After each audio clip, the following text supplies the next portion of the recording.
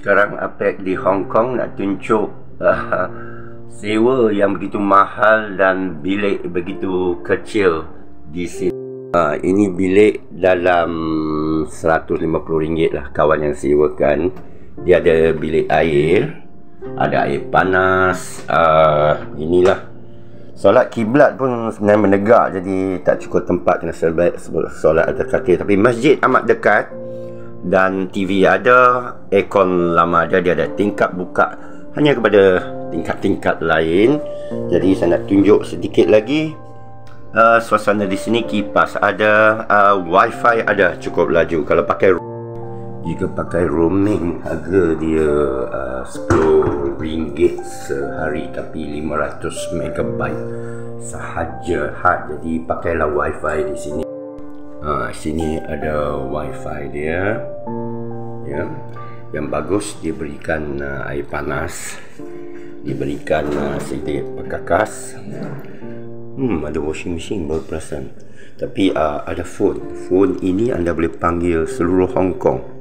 Uh, nombor-nombor dia seperti uh, ini eh. Boleh panggil uh, checking. Dia ada bunyi.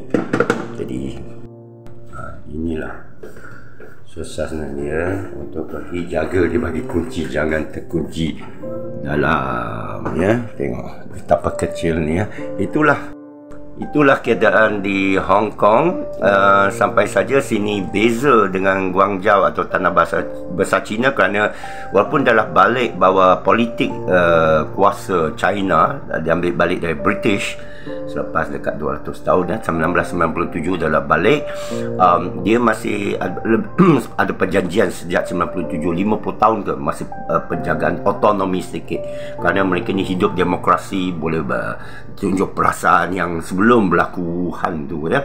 Mereka dah lebih separuh 2 per 3 daripada penduduk mereka. Uh, macam perontak itu yang pandemik itu datang untuk menghentikan. Jadi apa sekarang dah jejak kaki di Hong Kong buat pertama kali ni um, uh, masjid amat dekat berbuka puasa di sana uh, orang Islam sini menyediakan iftar yang lebih daripada mencukupi. Jadi uh, pagi ini mungkin nak jelajah sikit tapi inilah saya berikan uh, bagaimana keadaan hidup semasa musafir. Silalah follow APEC untuk kita berkongsi uh, firasat agama musafir pendidikan dan kesihatan. Sekian. Assalamualaikum selamat uh, menyambut Aidilfitri yang bakal selepas jumpa anak bulan. Alhamdulillah.